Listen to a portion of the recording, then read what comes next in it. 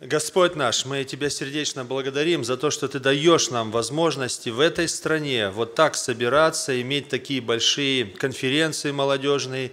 Благодарность Тебе за то, что Ты собрал нас в это утро – и мы просим, чтобы Ты прибыл с нами, чтобы Твое присутствие было ощутимо в нашем собрании.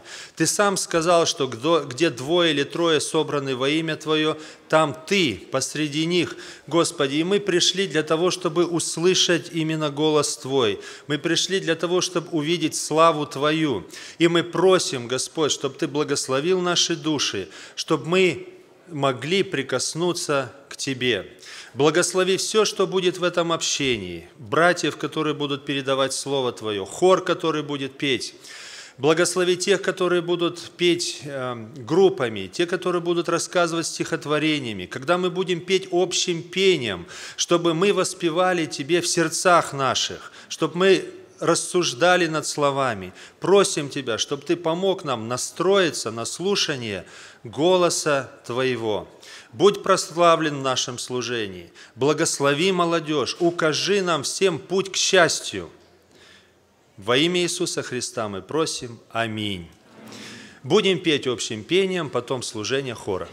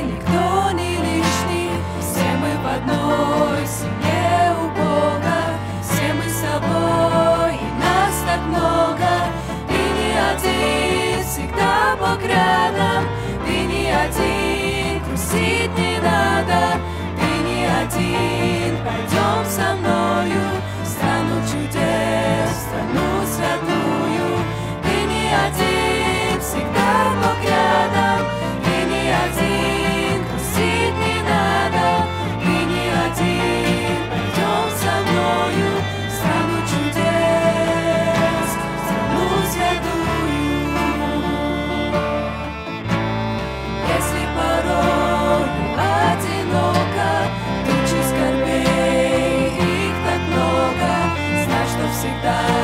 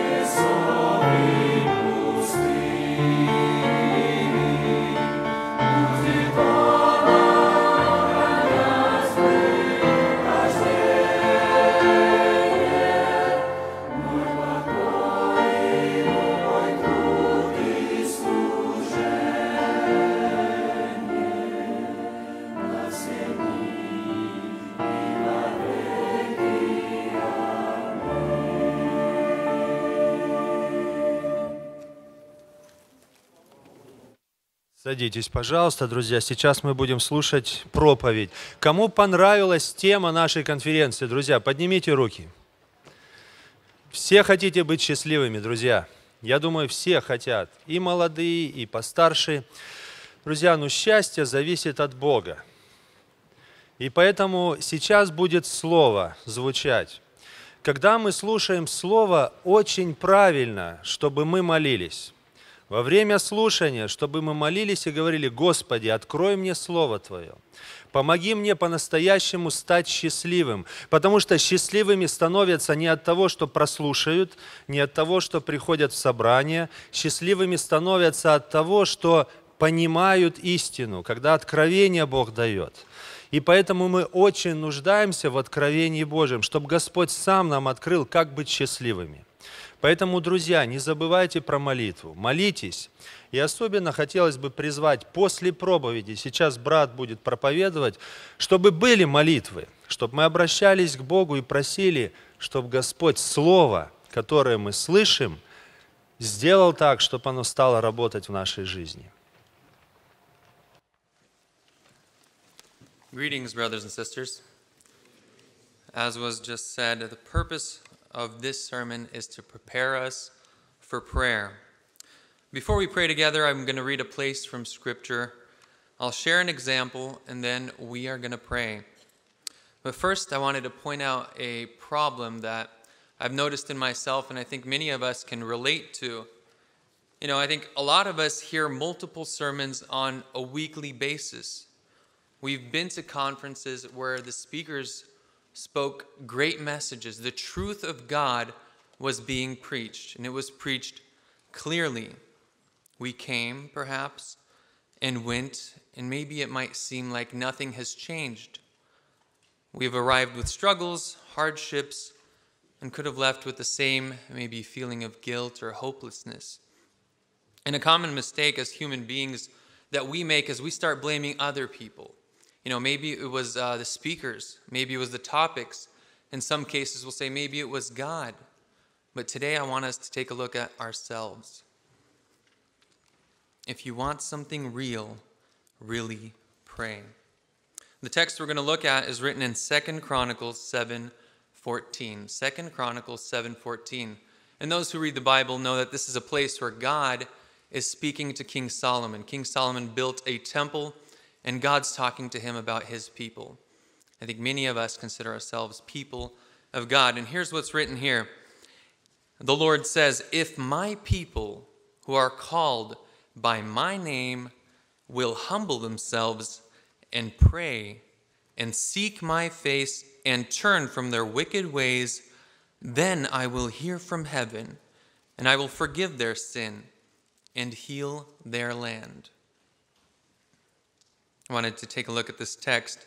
First of all, we notice God saying, If my people who are called by my name, He's not saying those who call themselves my name. He's talking about those who are called by my name. Maybe we call ourselves Christians, but do others call us Christians? There's a difference. Being called a godly person or calling yourself a person of God. So he says, my people who are called by my name will humble themselves and pray. Turns out to pray it requires to humble ourselves. To be willing to pray, we need to be willing to humble ourselves. That means not just standing quietly thinking about other things during this time given for prayer, but actually reaching out to God and praying. You want something real, really pray. Further, it says, and seek my face. This is talking about the attitude, right? What is the purpose? I'm looking to see what is God telling me? What truths is he opening up to me? It isn't because God isn't speaking that people don't hear. It's because they may not be prepared to listen. A question that I ask myself, and I, I'm also afraid of something called checkmark Christianity. You know, the thought that, oh, I just came here to preach, I came here to sing, came here to do what I was going to do, and I'm ready to leave. No. Maybe we came here to first of all listen, to pray, to hear heart changing truths from God and be ready to change our lives to those truths. We need to know that we need God's help. When he spoke about turning from our wicked ways, anything that isn't the way he says it should be is wicked. We need his help to turn from those things. If we want healing for our land or forgiveness and God to hear us, let us be prepared by prayer. I think we hear a lot about Apostle Paul speaking about the race we're all running, right? We're not just here to beat the air with our fists. And maybe as some people, you look at them and you know they're physically built. It looks like they could really tear something up. But prayer isn't something that's from the outward, right? Something physically strong. Prayer requires us to meet with the one who knows who we really are on the inside. And He's the one who desires a victory in our lives. He's the one who could give us this victory with our struggle against sin. That's who we meet in prayer with God.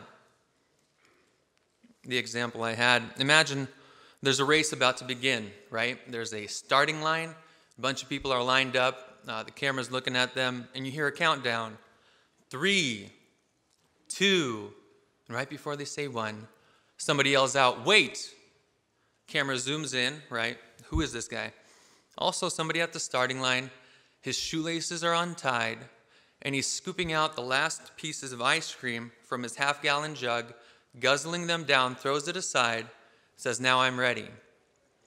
Seeing this picture at a race, what would you say, or what would you call this person if you had one word to call him?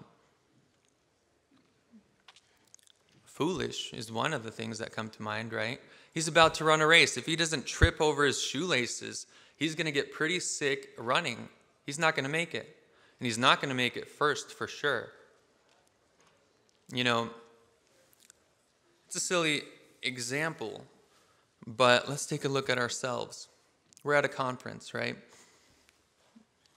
And how prepared am I? How much sleep did we get last night?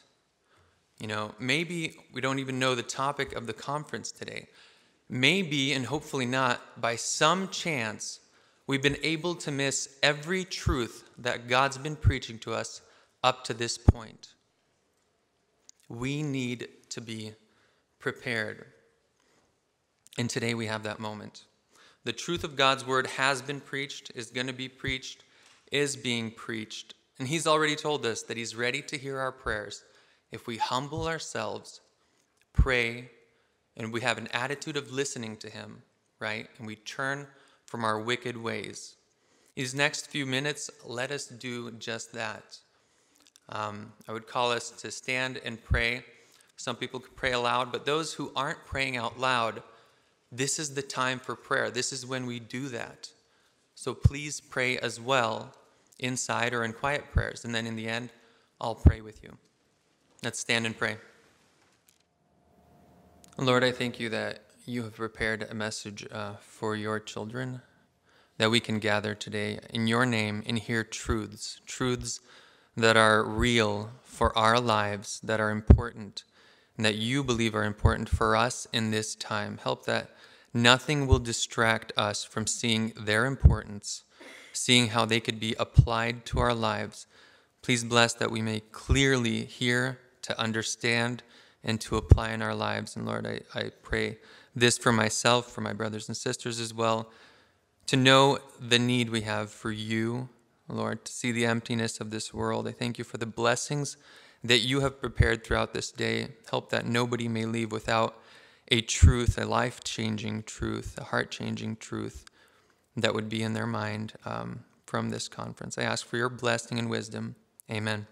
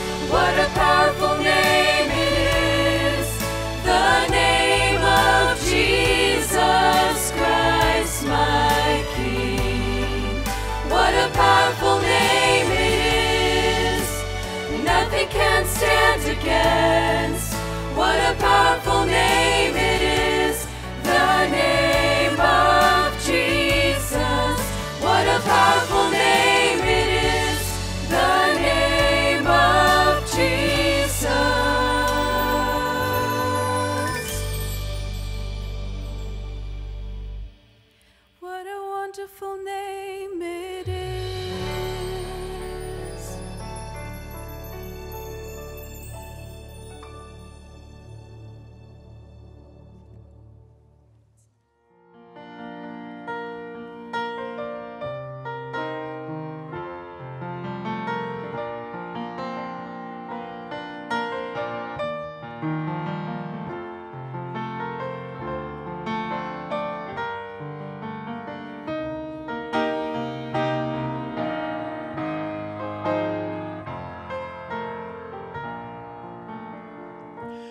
Christ alone will I glory, though I could pride myself in battles won.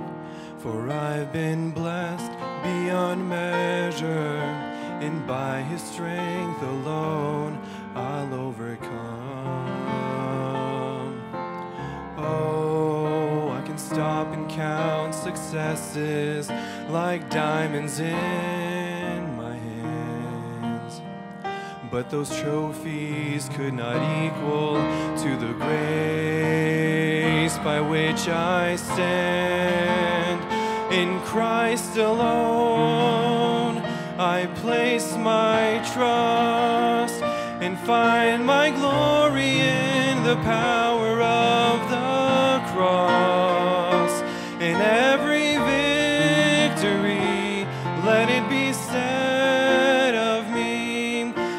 source of strength,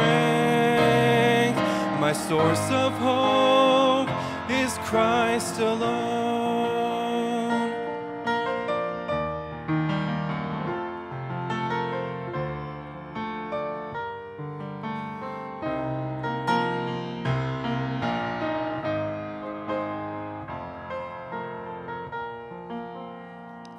In Christ alone do I glory for only by his grace I am redeemed. For only his tender mercy could reach beyond my weakness to my need. And now I seek no greater honor in just to know and to count my gains but losses to the glory of my Lord.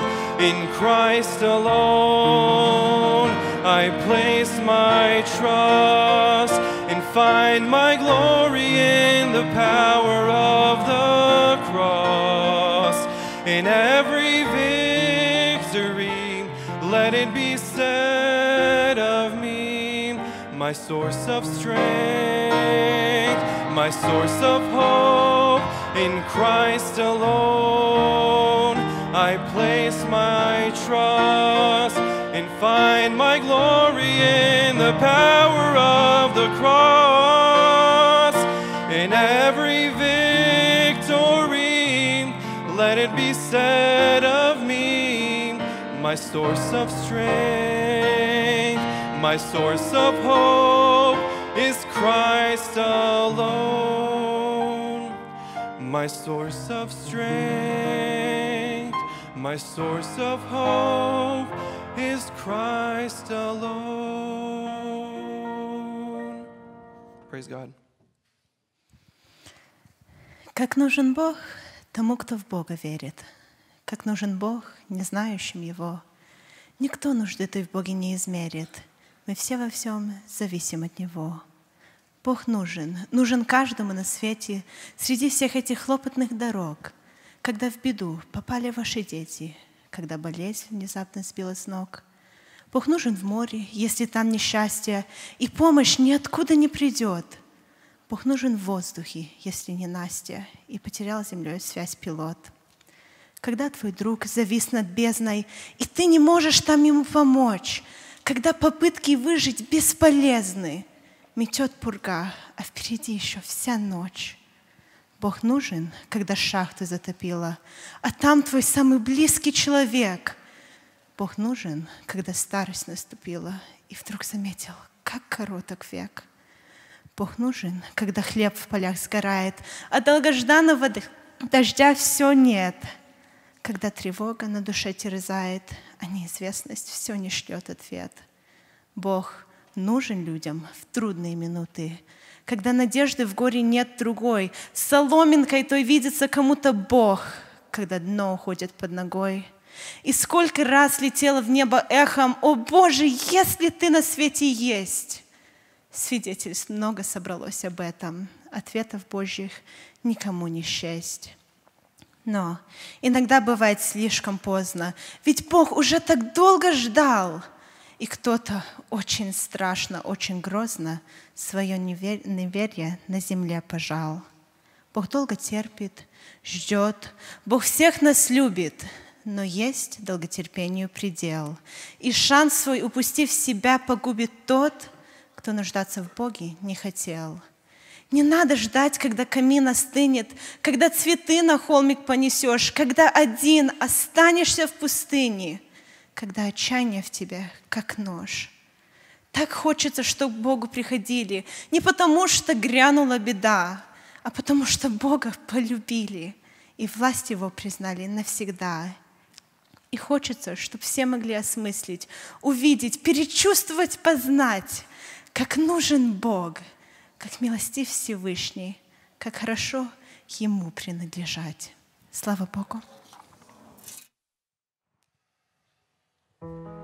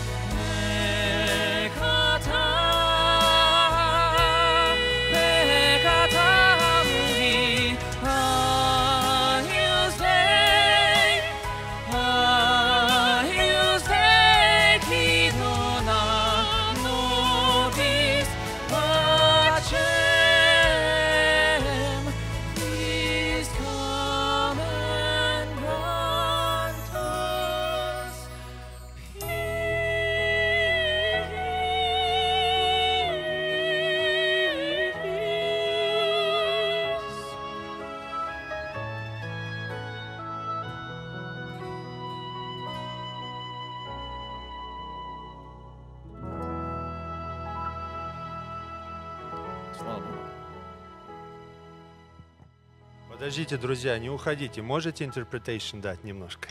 О чем пение? Это Italian? Uh, this is a combination of Latin and English. О, English. so.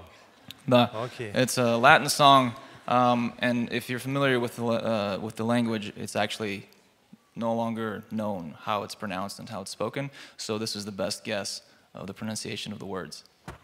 Um, but the words in Latin correspond with the words that were in English, Lamb of God.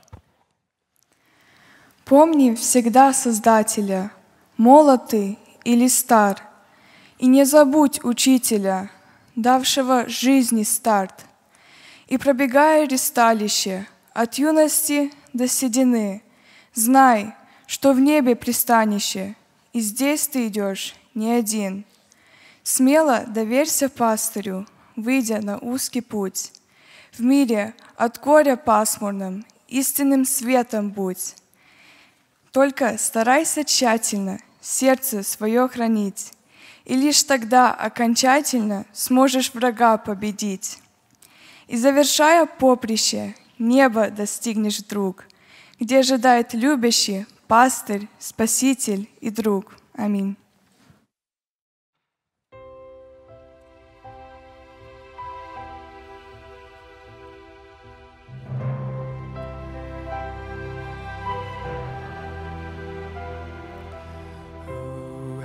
Has held the oceans in his hands? Who has numbered every grain of sand? Kings and nations tremble at his voice. All creation rises to rejoice.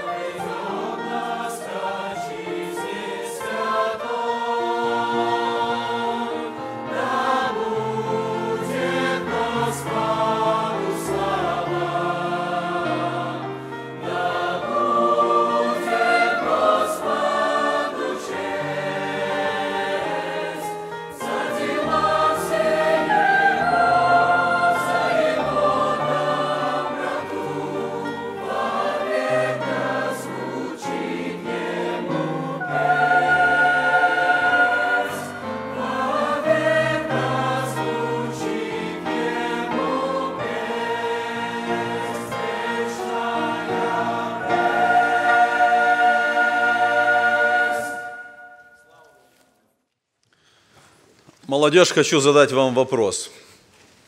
Как вы думаете, сколько деревьев растет на планете Земля? Кто-то знает ответ? Приблизительно три с половиной триллиона деревьев растет на нашей планете. А, Поднимите руки, кто из штата Вашингтон здесь? Слава Богу. А Кто из штата Орегон? Слава Богу. Как вы думаете, где больше деревьев, в Вашингтоне или в Орегоне? Я слышу, одни, одни так, другие так. Два прекрасных штата, правда? Вашингтон, Орегон, зеленые, огромное количество деревьев. 9 миллиардов в Вашингтоне, 5 миллиардов в Орегоне. Это не значит, что Вашингтон выиграл. Это говорит, что Бог создал прекрасные штаты и дал нам возможность здесь, в этих штатах жить, наслаждаться красотой, дышать воздухом и прославлять Господа. Мы сегодня будем говорить о дереве, о самом замечательном дереве, о человеке, который знает Бога, который поклоняется, повинуется и служит Богу. Первый псалом, тема нашей конференции «Дорога к счастью». Мы много слышали вчера, и сегодня мы будем касаться этого псалма. Я остановлюсь на третьем стихе этого псалма. И мы уже вчера слышали, что первый псалом – это как введение ко всей книге. Первый псалом, он открывает тему, которая будет потом на протяжении всей книги Псалтырь, 150 псалмов, эта, эта тема будет показываться, развиваться и открываться. И эта тема есть дорога к счастью. Это тема, которая показана, путь, который избирают праведники, и путь, который избирают нечестивые. И эта книга показывает, что путь праведников – это дорога к счастью, это благословение, это радость. И эта книга показывает, что огромное влияние для правильного выбора дороги к счастью является в Слове Божьем. Книга Псалтырь показывает нам эту важность Слова Божьего. Слово Божье открывает нам дорогу к счастью, и нам важно это видеть. И поэтому книга Псалтырь э, показывает духовную часть жизни человека с положительной стороны и с отрицательной стороны.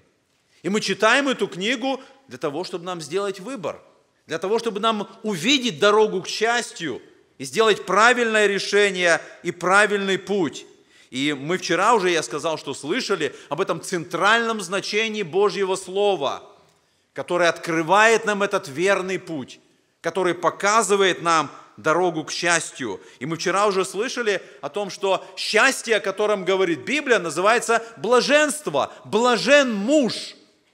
Это сразу показывает нам, что счастье, о котором говорит Бог, о котором говорит Библия, отличается от счастья, которое прилагается в этом мире. Потому что блаженство – это не только высшая мера счастья, блаженство свя- связано с благословением, благословен, или как в английской Библии так написано, blessed, то есть благословен муж, это тот, кто получает счастье не от этого мира, не то счастье, которое люди, грешники ожидают, это то счастье, которое дает Бог.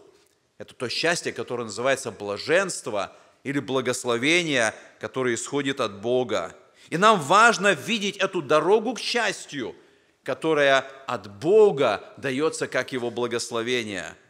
И мы сегодня говорим о дороге к счастью для вас, для молодежи, для особого поколения, поколе- поколения Z. Ваше поколение родилось тогда, когда интернет уже существовал, и вы думаете, что интернет существовал вечно. Многие из вас родились тогда, когда появился первый USB-драйв. Многие из вас родились тогда, когда появился Facebook и iPhone, и вы думаете, что это все было всегда. И вот когда мы смотрим на вас, когда мы смотрим на ваше поколение и пытаемся увидеть, что для вашего поколения есть счастье, какова ваша дорога к счастью вот в вашем состоянии. В 2017 году был сделан опрос, 20 тысяч э, молодых людей в возрасте от 15 до 20 лет, это, это ваше поколение, это ваши сверстники, вот им был задан вопрос, чтобы определить, что значит счастье для этого поколения. Вы знаете, где живут самые счастливые молодые люди, самая счастливая молодежь? В России.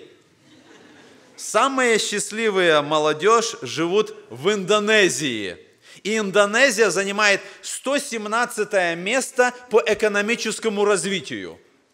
Второе место заняла молодежь в Нигерии. Это 142 место в экономическом развитии. Третье место молодежь в Индии. 143 место в экономическом развитии. А знаете, где живут самые несчастные молодежь? Франция, Великобритания, Япония и Австралия. Страны, которые входят в двадцатку самых экономически развитых стран. Там живут самые несчастные молодые люди вашего возраста. Это интересно, правда? И когда э, этой молодежи задали вопрос, э, что для вас является счастьем, 94% сказали здоровье, 92% сказали хорошие отношения в семье, 91% сказали хорошие отношения с друзьями, 85% сказали достаточно денег, чтобы иметь удобную жизнь. Самый меньший процент, меньше всего вашему поколению приносит вера или отношения с религией. 44%. Я задаю вопрос, вы такие же?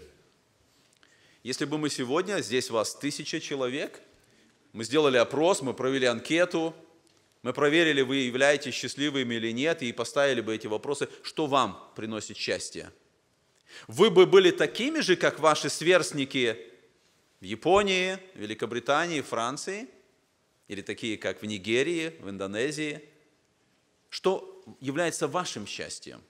Что является вашей дорогой к счастью? И вообще, возможно ли быть счастливым сегодня? Можем ли мы действительно увидеть, найти эту дорогу к счастью? Этот путь к настоящему счастью.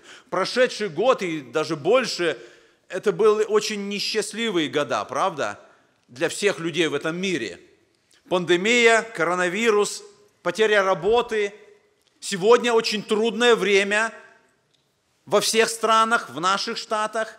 Многие люди теряют работы, потому что надо принимать прививку и отказывают принимать все эти exemption. И люди находятся в таком особом состоянии. И мы говорим о счастье. Что является счастьем сегодня, в наше время, для вашего поколения? Можно ли быть счастливым сегодня? Об этом наша конференция. Об этом тема, которую, над которой мы рассуждаем. Об этом первый псалом, который мы читаем, вникаем и пытаемся увидеть. Давайте откроем первый псалом, я прочитаю третий стих, на котором мы остановимся. Первый псалом, третий стих. «И будет он, как дерево, посаженное при потоках вод, которое приносит плод свой во время свое, и лист которого не вянет, и во всем, что он не делает, успеет». Давайте вместе еще раз посмотрим, как начинается этот стих. «И будет». Произнесите это слово э, вот, э, в вашей голове. «И будет». Что это значит? Это означает, что э, когда мы произносим это слово, мы принимаем какое-то решение. У нас есть какой-то план, мы хотим что-то сделать, мы хотим что-то предпринять, и вот мы как бы рисуем в своей голове, как достигнуть этого результата, мы как-то планируем что-то, и мы представляем, и говорим, да, вот когда-то будет. Что вы представляете и будет? И женюсь, да, и будет у меня семья, и бизнес, или что вы представляете в голове, когда вы произносите слово «и будет». Теперь подумайте, что происходит, когда Бог произносит это слово. Когда Бог говорит «и будет», это не просто план, это не просто рассуждения, мечты какие-то. Когда Бог произносит слово «и будет», это происходит. И мы читаем первую главу книги «Бытие», когда Бог произносит это слова «и стал свет», и появилась земля, и появились эти э, э, триллионы деревьев. Когда Бог произносит слово «и будет», это точно он своей силой, силой своего слова, он осуществляет действия, и происходит то, что Бог сказал и будет. И мы прочитали с вами третий стих, который говорит Давид, и мы знаем, что это откровение от Бога, это Божьи слова, это Божье Слово. Если Бог говорит, и будет Он, этот муж, о котором мы слышали вчера, который не ходит на совет нечестивых, не, не стоит на пути грешных, у которого воля в законе Божьем, он размышляет о Слове Божьем день и ночь, и Бог говорит, и будет он. Это Божье обетование. И я хочу, чтобы мы поняли этот стих, это Божье обетование, это Его обещание. И когда Бог говорит и будет, это точно произойдет. Если вы сегодня понимаете, что Бог в этом псалме открывает этот путь, эту дорогу к счастью, и Бог говорит «и будет», это относится к каждому из вас. Если вы сегодня принимаете решение, если вы сегодня, э, рассуждая, слыша проповеди, вы видите этот путь праведника, который не идет на греховный путь, который избирает другой путь, избирает дорогу к счастью, избирает и стремится вникать в Слово, там, чтобы была Его воля. Бог вам говорит, называя каждого из вас по имени, Он будет таким деревом. Вы можете быть уверены, что когда вы принимаете решение внутри, когда к этому решению подключается ваша вера, Бог начинает осуществлять действия.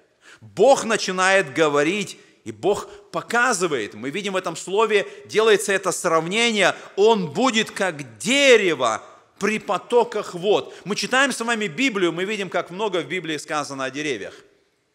И мы думаем с вами, что когда мы находим дерево в самом начале Библии, в саду Эдемском, и когда мы прочитали с вами о дереве в первом псалме, а первый псалом – это середина Библии, и когда мы читаем, что в книге Откровения в конце Библии тоже говорится о дереве, мы видим, что Бог использует дерево как духовную иллюстрацию. Причем иллюстрацию нашего духовного состояния. Бог желает через это передать нам какие-то духовные истины – которое нам важно понять. И мы смотрим всю библейскую историю, как много связано с деревом. Ковчег Ноя был построен из дерева. Жезл в руке Моисея был из дерева. Храм Искиния были построены из дерева. Крест Иисуса Христа был сделан из дерева. Бог открывает нам духовные истины, когда мы рассуждаем о дереве, что это, о чем это сказано и как это важно – Э, в национальном парке Райнира, здесь в нашем штате, есть срез дерева, ему 728 лет. И на этом срезе отмечены вот все эти кольца, и показаны исторические события, которые происходили, когда дерево было вот таким, таким, таким, таким. Интересно, что когда Колумб открыл Америку, этому дереву было уже почти 200 лет. Вы можете представить? Когда Колумб открыл Америку, этому дереву было уже 200 лет. Когда была подписана Декларация независимости Америки, этому дереву было 483 года. Удивительное дерево. Но когда мы прочитали с вами этот текст Писания, он говорит о другом удивительном дереве. О таком дереве, которым может стать каждый из нас. И Бог желает, чтобы мы стали таким деревом. И Бог желает, чтобы мы приняли это решение, чтобы Он в отношении каждого из нас сказал, и будет. И мы стали бы таким деревом, которое бы было насаждено у потоках вод и которого бы приносило плод. И посмотрите э, на окончание этого стиха. Я хочу, чтобы мы начали с окончания этого стиха и потом коснулись э, того, что э, в середине. Сказано об этом человеке и во всем, что он не делает, успеет. Буквально здесь сказано, что все, что не делает этот человек, он будет успешен. Это означает, он будет счастлив, он достигнет результата. Этот результат будет положительным, он будет успешным, он будет счастливым. В этом стихе показана дорога к счастью. В этом показана дорога к благословению, успеху. Этот человек, он, он нашел эту дорогу, он встал на этот путь счастья, он идет по нему, и все, что встречается на его пути, это благословение, это успех, это результат. И поэтому я хочу, чтобы мы посмотрели вот на этот третий стих, я хочу коснуться трех важных моментов, рассуждая об этом стихе о дороге к счастью. Первое, я хочу, чтобы мы увидели, счастье имеет свое начало. Если вы записываете, можете записать. Номер один. Счастье имеет свое начало. Второе, что я хочу, чтобы мы увидели, что счастье имеет свой источник. Об этом также сказано в этом стихе. Первое, счастье имеет свое начало. Второе, счастье имеет свой источник. И третье, что я нахожу здесь, счастье имеет свой результат. Давайте посмотрим на каждый из этих моментов, чтобы увидеть, где об этом сказано в Божьем Слове. Мы прочитали еще раз это третий стих. «И будет он, как дерево посаженное». Давайте остановимся здесь и запишите в своем блокноте слово «посаженное». Это интересный момент, потому что именно это слово говорит о том, что счастье имеет свое начало. Буквально слово, которое используется здесь, это слово «шател», Слово «шател» в иврите, оно означает не столько посаженное, как пересаженное. Что это означает? Быть посаженным означает иметь корень для стабильности, для питания. Мы посадили какое-то растение, мы посадили какое-то семя, оно вырастает, оно укрепляется в земле. Это значит быть посаженным. Быть пересаженным означает все предыдущее, но еще означает изменение почвы и места, где растение посажено. И Писание говорит, что и будет он как дерево пересаженное. Это говорит о том, что все мы люди, мы росли в другом месте. Мы все были водами, мы все были мертвые во грехах, но Иисус Христос пришел и принес нам спасение – он даровал нам спасение, когда Он умер на Голговском кресте, когда наши грехи, вот эту нашу природу Адама, Он взял на себя, и Он пролил кровь на Голговском кресте. Он таким образом дарует спасение всякому верующему в Него. И когда мы веруем, что Христос умер на кресте, когда мы взор устремляем на крест, на Господа нашего – он дарует нам спасение, и Он пересаживает нас из состояния греховности, из состояния вот в этом порочном положении греха, Он пересаживает нас в другое место. Это и есть, это и значит быть христианином. Христианин – это тот, кто пересажен из состояния греха, погибели этого мира – в новое состояние. И Писание показывает, что христианин не может быть добрым сам по себе. Христианин может приносить плод только когда он пересажен, когда он в новом месте. Посмотрите, мы читаем 3 глава Ефесянам, 17 стиха. Павел говорит, «Верою вселиться Христу в сердца ваши, чтобы вы укорененные и утвержденные в любви, могли постигнуть со всеми святыми, что есть широта и долгота. Чтобы вы были укорененные, что значит укорененные? Чтобы у нас корень был.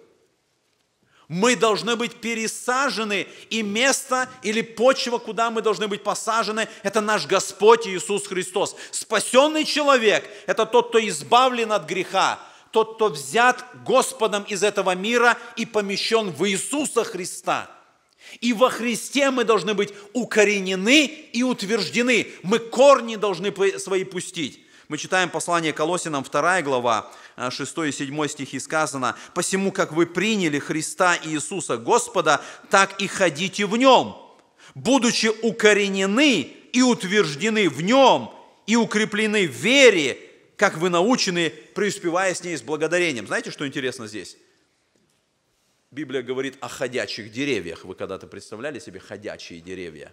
Посмотрите еще раз в этот текст, который я прочитал, Колосинам 2 глава. «Посему, как вы приняли Господа Иисуса, так и ходите в Нем, будучи укоренены».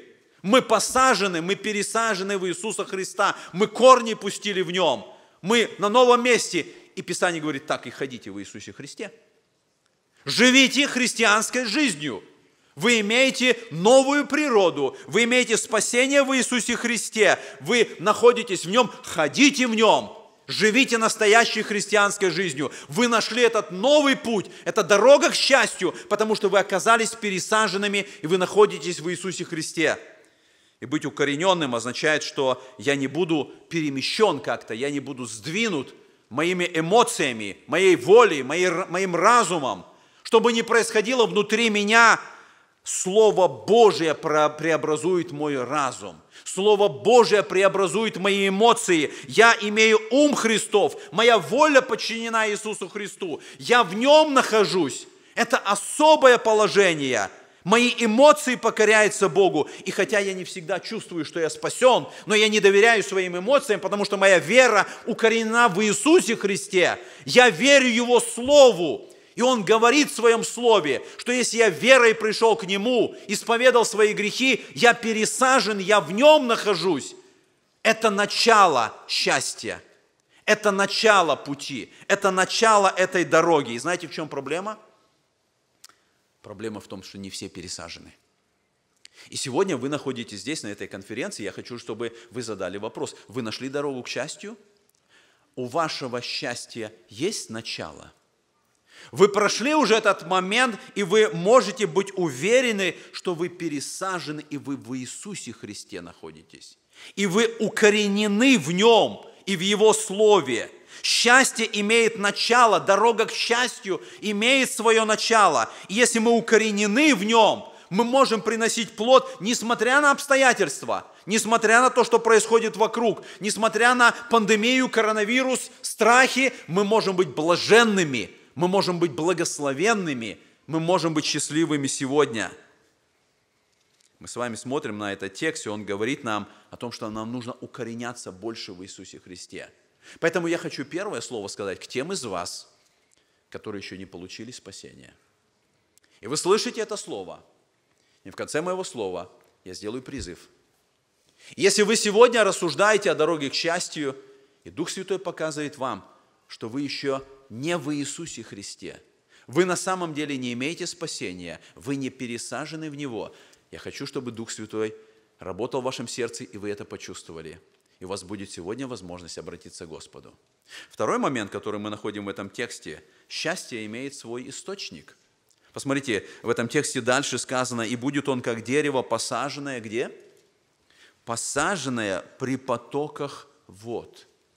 Это говорит нам о том, что если я посажен во Христе, тогда Божье Слово, как потоки воды, будет совершать особое действие в моей жизни. Быть посаженным в Иисусе Христе, находиться в Нем, это означает всегда стремиться, чтобы Божье Слово совершало во мне работу. Источник счастья в Божьем Слове. Поймите это, потому что мир сегодня говорит совершенно о другом. Но мы в этом тексте находим, что потоки вод, они указывают, чем питается это дерево. Эти потоки вод а- а указывают причину, почему это дерево находится в таком состоянии, откуда оно пьет воду.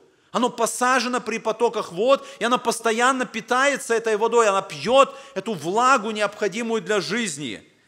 Я хочу задать вам вопрос, чем вы питаетесь, молодежь? Из какого источника вы пьете воду? Вы поколение Зи. Когда вам нужна какая-то информация, когда вам нужно найти ответ на какой-то вопрос, когда вас что-то интересует в этой жизни, вы все находите в интернете. И я еще раз задаю вопрос, из какого источника вы пьете воду? У каких потоков вод вы посажены? Книга Иеремии, мы читаем 2 глава, в 13 стихе, Господь говорит, «Ибо два зла сделал народ мой. Меня, источник воды живой, оставили, и высекли себе водоемы разбитые, которые не могут держать воды». Это не к вам относится?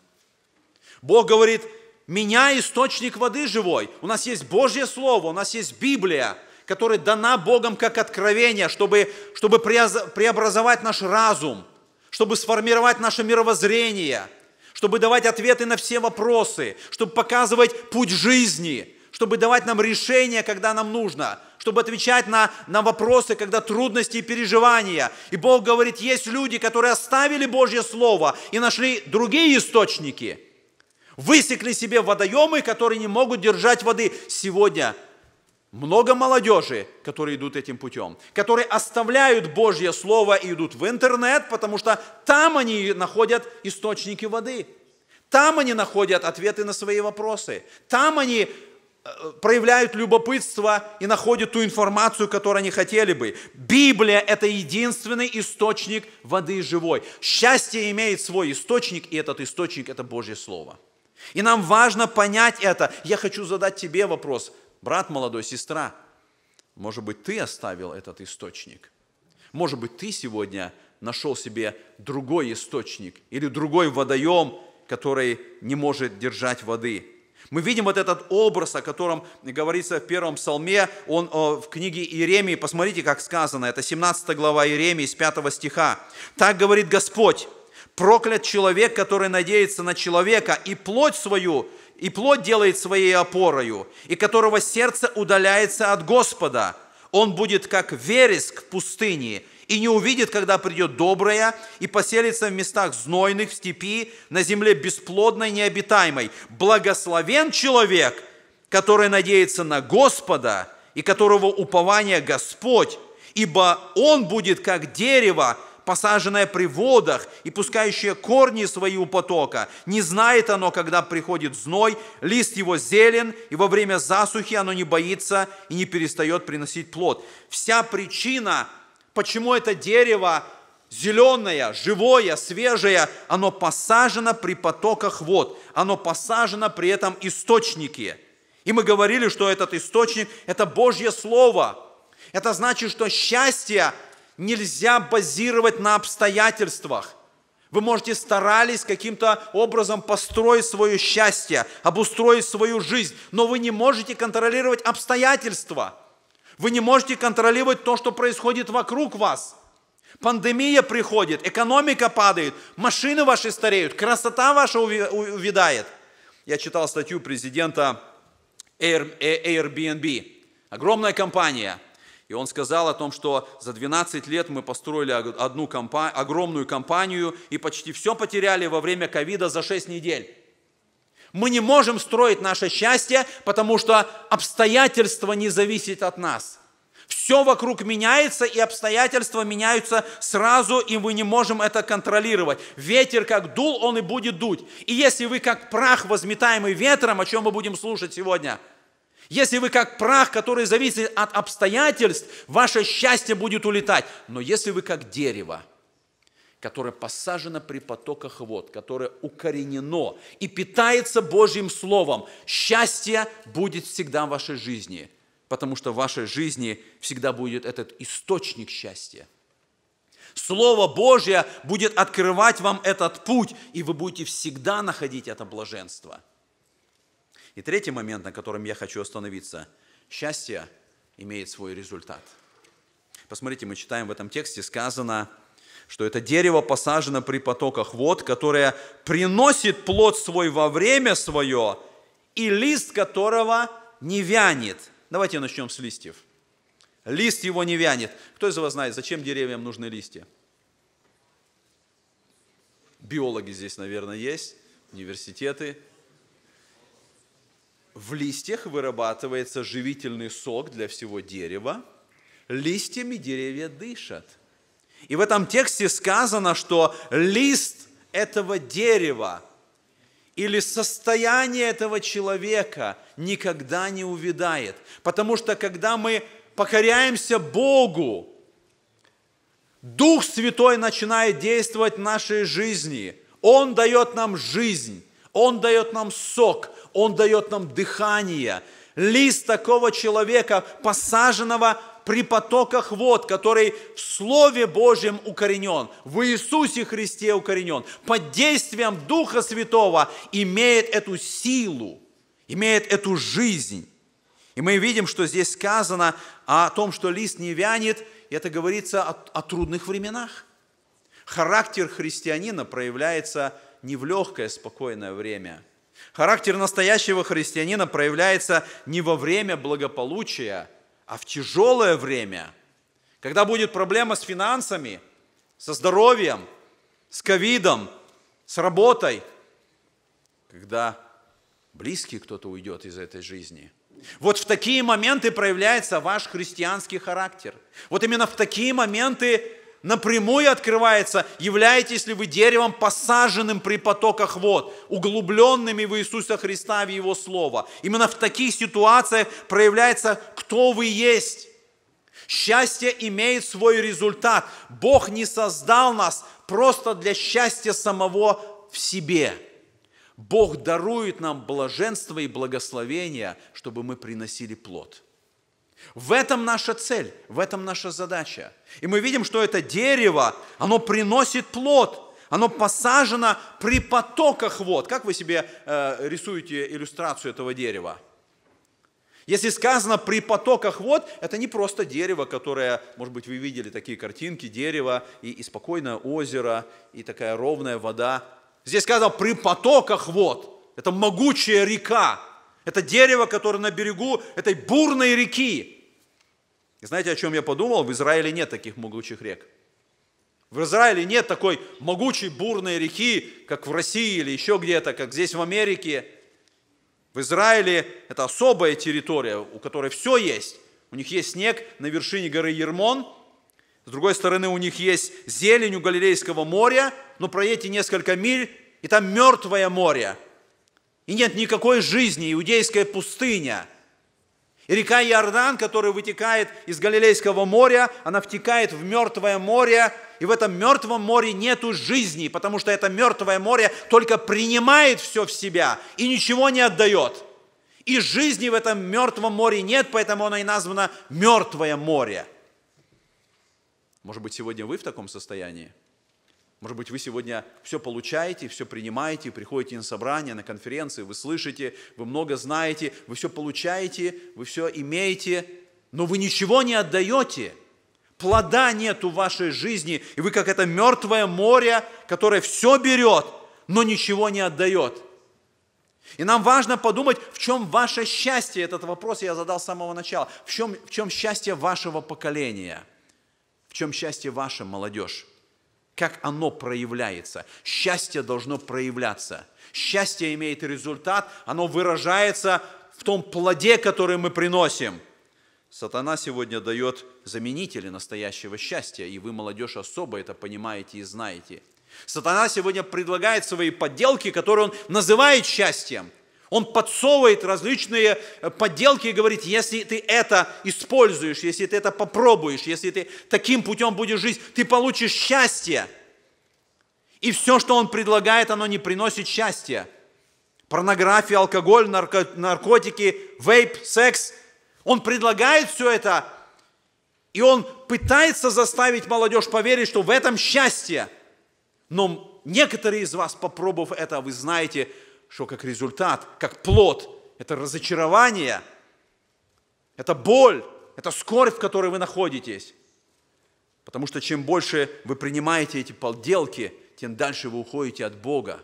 И Писание показывает, что на самом деле мы можем или служить Богу, или служить тому идолу, который в сердце нашем. Если в вашем сердце идол, тогда этот идол требует поклонения – и поэтому наркотики, поэтому порнография, поэтому э, безнравственная жизнь, потому что этот идол в сердце, он требует поклонения. Он пытается заставить вас жить таким путем. обманывая, сковывая, предлагая это как счастье, на самом деле это полное разочарование. Это не тот результат, который должен быть в счастье. Это не тот плод, который предлагает Священное Писание, потому что только служение Богу – это настоящий результат. Познание Бога, повиновение Ему и служение Богу – это результат счастья. Бог нас для этого создал. И когда мы однажды достигнем вечности, когда мы будем на небесах, там мы будем знать Бога, повиноваться Ему и служить Ему. И это величайшее счастье, которое Господь предлагает каждому из нас. Он желает, чтобы мы достигли этого счастья. Он желает, чтобы мы были там на небесах. Он желает, чтобы мы сегодня поверили в то, что это и есть реальное счастье. И это счастье Он предлагает нам сегодня. Он желает, чтобы этот плод был сегодня в нашей жизни. И я знаю, что среди вас есть те верные христиане, которые поняли это. В жизни которых есть этот реальный плод Духа, любовь, радость, мир, долготерпение. Вы приносите этот плод, и вы понимаете, что служить Богу и повиноваться Ему – это самое настоящее счастье. Но заметьте, что в этом псалме, в этом тексте здесь есть важный принцип. Чтобы появился плод, должен быть корень.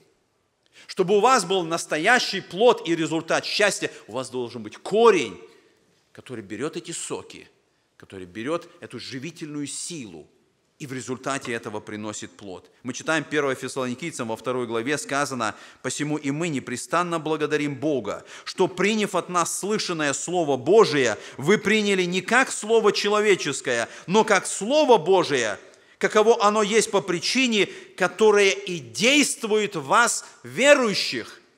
Божье Слово, которое мы принимаем, которое поселяется в нашем сердце, оно начинает действовать. И в зависимости от вашего решения, оно или приносит плод, или оно засыхает. И поэтому я хочу, чтобы вы подумали о, о том, приносит ли плод ваша жизнь сегодня. Являетесь ли вы таким деревом? И посмотрите, здесь сказано, э, окончание этого стиха, что во всем, что он не делает, он успеет – он, он находит этот результат, он находит дорогу к счастью. Это человек, который понял и увидел и нашел этот путь к счастью. Я хочу задать вам вопрос сейчас. Знаете ли вы, что такое настоящий успех? Знаете ли вы, что такое настоящее счастье?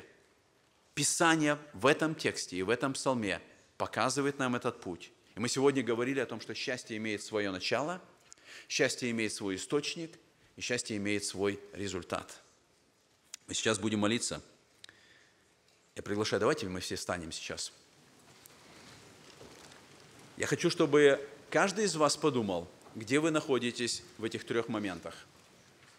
Может быть, сегодня здесь есть в, этой, э, в этом зале те, которые не укоренены в Иисусе Христе, и вам нужно спасение – и в этом тексте, посмотрите, наказано, сказано, что этот человек приносит плод свой. Что дальше написано? Во время свое. Сегодня это время.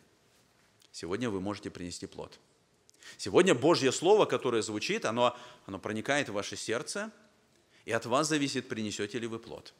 Если здесь в этом зале есть те, которые понимают, что вам нужно обращение к Богу – вам нужно покаяние пред Господом. Вам нужно принять Его как Спасителя своего, как Господа своей жизни.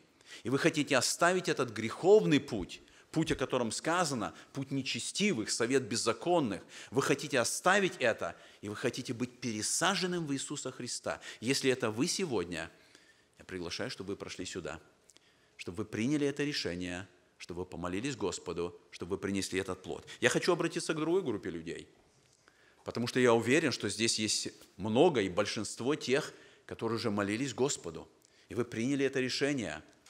Но, возможно, сегодня, слыша это слово, Дух Святой обличает вас, что вы не находитесь в этой близости к Божьему Слову что вы не находитесь вот у этих потоках вод. Вы проверяете себя, и вы понимаете, что это важно, это нужно, но у вас нету как бы этого. Я хочу, чтобы вы приняли решение – я хочу, чтобы вы сегодня приняли это решение, сказали, Господь, я принимаю это решение. Я хочу быть этим деревом, посаженным при потоках вод. Я прошу, помоги мне быть таковым. Я принимаю это решение в духе своем. Я иду к тебе. Я хочу, чтобы ты совершил, чтобы ты сделал меня таким деревом. Если вы принимаете это решение сегодня, я тоже приглашаю, вы можете пройти сюда. Для того, чтобы засвидетельствовать, для того, чтобы помолиться Господу, для того, чтобы этим самым сказать самому себе, Господу, всей церкви, всем нам, я принимаю это решение. Я хочу быть человеком, счастье которого имеет источник в Слове Божьем. Я хочу обратиться к третьей группе людей. Может быть, вы проверяете себя, и вы не замечаете, что в вашей жизни есть достойный плод, результат вашего служения Богу. Вы не замечаете, что в вашей жизни вот есть эта, эта плодоносная жизнь, когда вы служите Богу, повинуетесь Ему. В вашем характере это выражается. Вы меняетесь, вы становитесь больше похожими на Христа. В вашем служении это проявляется. Если сегодня вы хотите принять решение, я хочу позволить Богу, чтобы Он изменил меня, я хочу больше приносить плода, я хочу больше меняться, становиться похожим на Иисуса Христа. Я хочу больше ревностней служить Ему. Если вы принимаете это решение, вы можете пройти сюда. И этим самым заявить, что это мое решение. Это, это сегодня мой плод. Это сегодня мое обращение к Господу, это сегодня мое обновление, это сегодня моя молитва, чтобы Господь изменил меня и сделал меня таким человеком, о котором говорит Слово Божие. Если кто-то из вас принял это решение, вы можете пройти сюда, мы будем молиться с вами. Я предлагаю, давайте мы споем один гимн а, «О молитва, о молитва». Если вы чувствуете этот Божий призыв, вы можете пройти сюда, мы помолимся с вами. Это будет результат вашей жизни, вашего решения и вашего плода. Да поможет вам этом Господь. Давайте споем все вместе.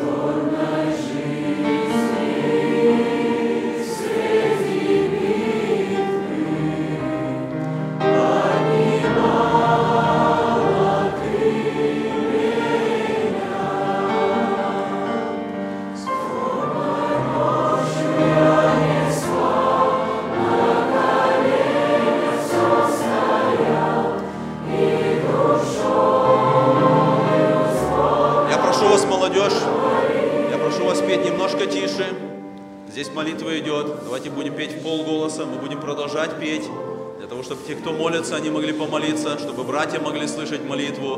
Мы будем петь полголоса. Если Бог работает в вашем сердце и призывает вас к покаянию или к решению, или к обновлению, можете проходить сюда и помолиться вместе с братьями.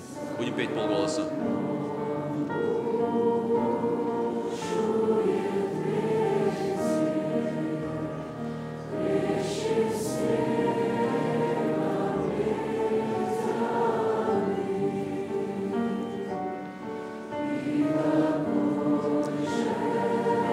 Братья служители, если есть в зале, подойдите сюда еще. Здесь есть те, кто хотят помолиться. Если есть братья служители, подойдите, помолитесь.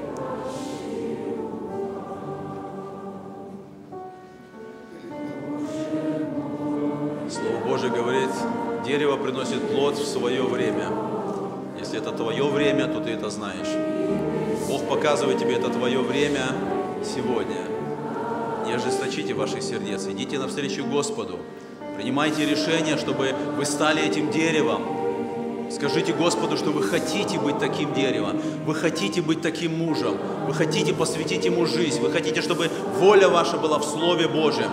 Откройте свое сердце Господу, скажите желание, и Бог поведет вас, Он поможет вам, Он даст вам силу следовать за Ним.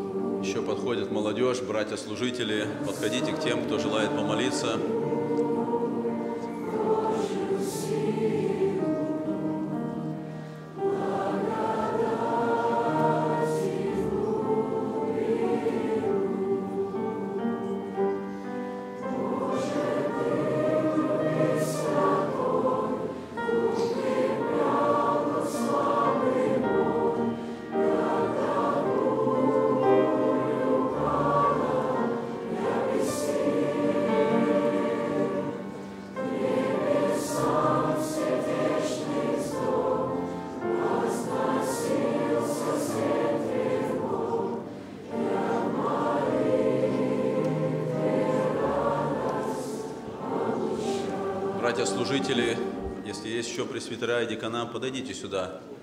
Есть еще молодежь, которая желает помолиться, поэтому подойдите, помолитесь с теми, кто вышел вперед. Может быть, в вестибюле есть у нас братья декана или служители. Подойдите сюда, чтобы помолиться с тем, кто здесь впереди. Давайте мы споем еще один гимн, пока идет молитва. Что мы споем? Неужели не приняв Христа ты уйдешь? Знаете, Откройте, неужели не приняв Христа ты уйдешь?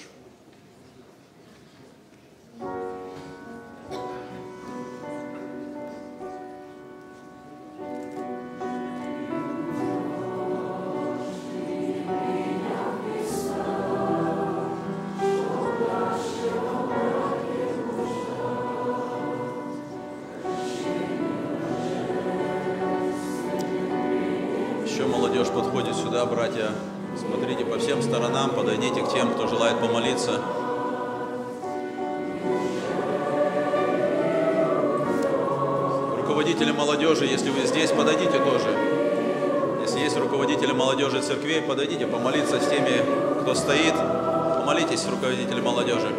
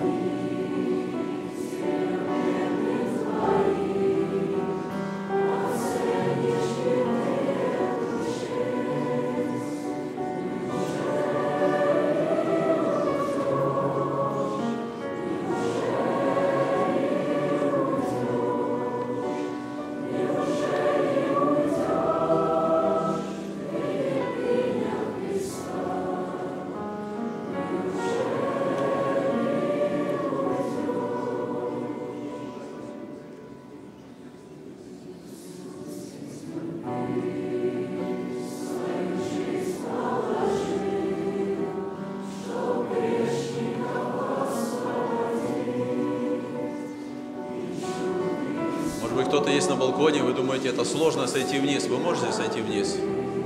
На балконе или в хоре, где вы не были. Если Бог касается вашего сердца, вы можете подойти сюда. Идет еще молитва, поэтому у кого есть желание, вы принимаете решение. Вы хотите посвятить себя Богу, вы хотите приносить плод, вы хотите жить у источника воды. Бог работает в вашем сердце, Он призывает вас к себе.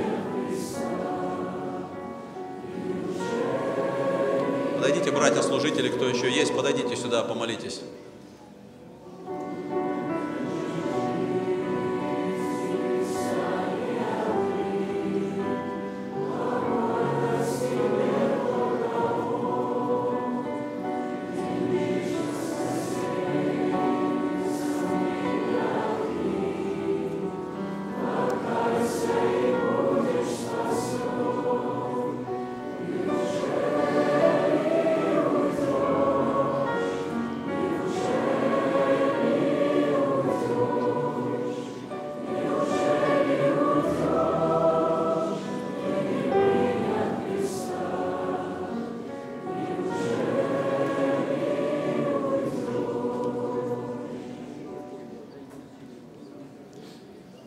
Что происходит сейчас для многих, кто вышли сюда, это, это цель, ради которой вы приехали.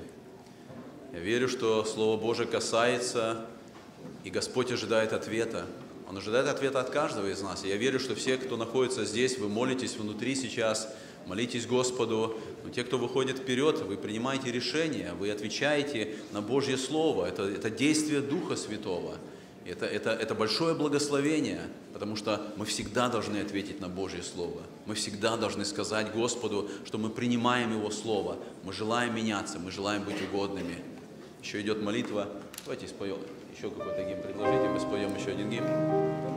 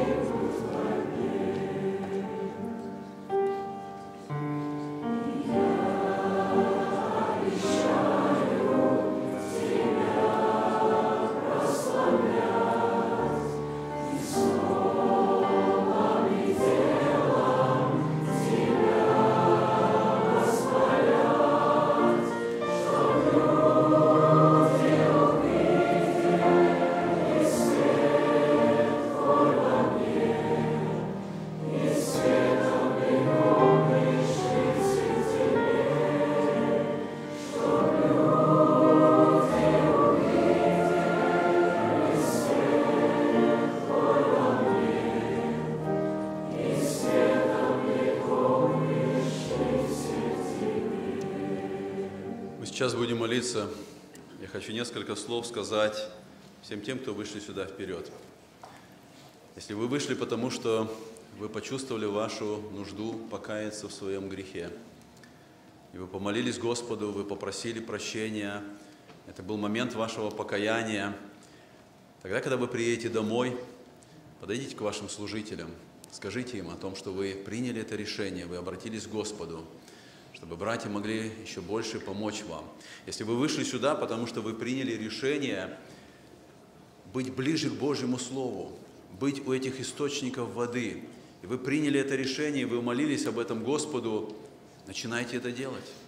Возьмите Божье Слово, читайте, вникайте. Если вы вышли сюда и помолились, потому что вы проверяли свою жизнь, и вы поняли, что вам нужно больше приносить плода, у вас нет плода в жизни, в служении, и вы приняли это решение, начинайте это делать, начинайте служить Господу, начинайте совершать то, о чем говорит Божье Слово, быть послушными Господу. Я верю, что многие, которые стояли здесь, и вы тоже молились, если вы приняли это решение внутри себя и помолились Господу, я хочу, чтобы мы еще раз увидели это слово, с которого начинается этот стих. Господь говорит, и будет. Он говорит это вам, это Его обещание, это Его обетование. Если вы приняли это решение сегодня и сказали об этом Господу, верою принимайте Его обещание, будьте послушны Ему, стремитесь жить святой жизнью, стремитесь быть угодной, потому что Господь дал вам это обещание. Он сказал, и будет Он как дерево. Он вам сегодня это сказал. Это поможет вам Господь принять это верою и жить для Господа, доверяя Его Слову и быть во всем послушным Ему. Давайте мы помолимся Господу. Господь наш, мы пред Тобою преклоняемся в этот час. Мы благодарим Тебя за Твое Слово. Оно живое, оно действенное, оно проникает в наше сердце, оно судит наши помышления, и оно влечет нас к Тебе.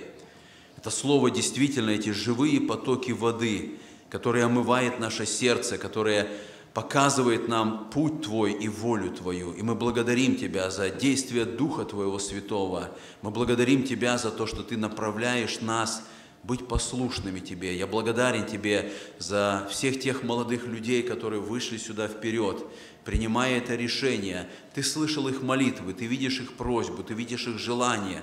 Господи, прости тем, кто каялись перед Тобою, очисти их, освободи их от греха, от зависимости, дай им новую жизнь. Господи, обнови тех, кто вышли сюда с этой просьбой и желанием стать лучше, желая служить Тебе больше. Господи, Ты используй их, Ты помоги им, Ты дай им силу. Услышь, Господи, молитвы тех, которые обращались к Тебе, э, те, кто не вышли, Господи, Ты каждого из них слышишь. Наше желание, чтобы каждый из нас был этим деревом у потока вод, который бы приносил плод для славы Твоей. И мы верим, Господи, Твоему Слову, мы верим этому обетованию. Ты сказал, и будет, Господи, и мы также повторяем это Слово, доверяя Тебе, что Ты будешь с нами дальше, и Ты поможешь нам во всем. Храни нас в руке Своей, благослови нас, сделай, Господи, нас этим блаженным человеком, который знает Твою истину и понял, что счастье знать Тебя, быть послушным Тебе и служить Тебе. Слава Тебе за все, наш Господь. Аминь. Присаживайтесь, братья и сестры. Сейчас, друзья, будем слушать пение хора. Произведение называется «O magnify the Lord». Знаете, свободная душа не может не прославлять Господа. Э, Можем ли присоединиться к хору? Можем ли мы возвеличивать Бога действительно нашей душой? Если нет, проблема – дерево, посаженное при потоках вод, оно приносит плод, оно приносит благодарность Богу. И поэтому, друзья, я опять говорю, проверьте свои сердца, есть ли там действительно вот этот поток благодарности и славы Богу.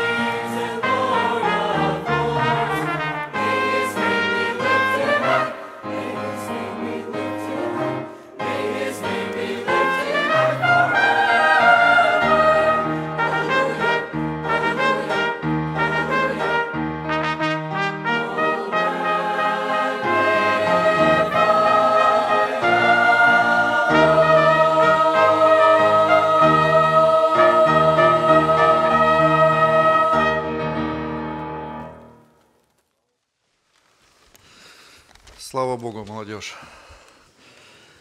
Сегодня э, Бог подарил благословенное служение, и это милость Божья. Я вчера говорил и хочу сегодня напомнить, молодежь, дорожите этими минутами, этим временем. Для кого-то из вас вполне возможно, что это последняя молодежная конференция. А, Может быть, для всех нас это может быть последняя молодежная конференция. Может быть, следующая молодежная конференция быть в небе вообще. Но это может быть не для всех. Поэтому э, вот помните, дорожите. Э, Давайте помолимся, братья и сестры. Господи, мы очень благодарим Тебя, что Ты любишь нас. Как мы счастливы, Господь, что Ты Бог наш. Ты сделал нас детьми своими. И как действительно огромная милость Твоя, что мы, Господь, можем приходить к Тебе, и Ты открываешь нам вот эту настоящую дорогу к счастью, что мы можем получить это счастье, сохранить его, Господи. Мы можем действительно иметь результат этого счастья уже здесь, на земле. Господи, очень благодарим Тебя. Благодарю Тебя, Господь, за это служение. Благодарю Тебя за каждого, кто вышел сегодня, помолился, кто принял это решение сегодня. Господи, я очень прошу Тебя, укрепи их идти твердо на этом пути. Сохраняет искушений, пошли милость Твою в победах, Господи. Я очень прошу Тебя, всю нашу молодежь, вот всего нашего объединения, Господи, благослови в это непростое время, чтобы мы могли действительно быть светом для окружающих. Сохрани наших детей, молодежь, каждого, Господи, сохрани в вере, в твердости, в уповании на Тебя. Господь, еще раз прошу Тебя о тех, кто, может быть, еще не примирился с Тобою. Продолжай свою работу, пока время благоприятное, пока Ты еще держишь вот эти двери открытыми. Я очень прошу Тебя, благослови. Господь, мы просим Тебя, чтобы Твоя милость и Твоя благодать была над нами. Во имя Иисуса молимся Тебе. Аминь.